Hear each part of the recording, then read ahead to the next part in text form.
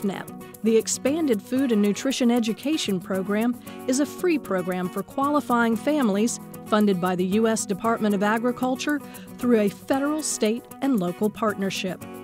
EFNEP is managed by UF IFAS, the University of Florida's Institute of Food and Agricultural Sciences, and offered through county extension offices. We saw a very natural fit with the extension program with EFNEP and saw that their curriculum matched almost exactly with what we saw were the needs that needed to be addressed in the communities.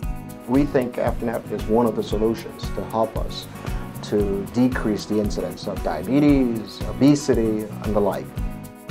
The program is designed to assist families with limited resources, and particularly households with children.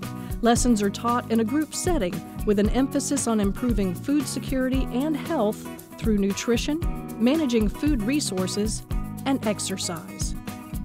If you eat healthy, you feel better.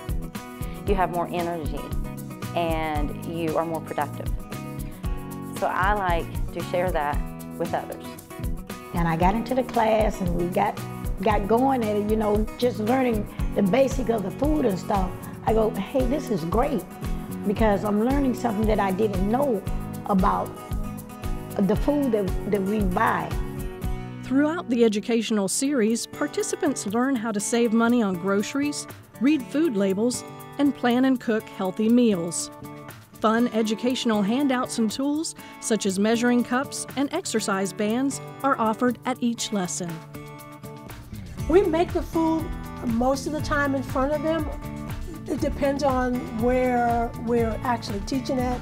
But when they're able to see it see us cooking it know that this is easy and then they taste it and love it, that really does make a difference. I'm really picky with food, so trying new food in the classes help out as well. Most of the time I find out that, yeah, I, I like this. So it's, it's a plus. EFNEP has been taught for more than 45 years across the country, and the evidence based lessons are offered in English with Spanish and Creole available in some locations.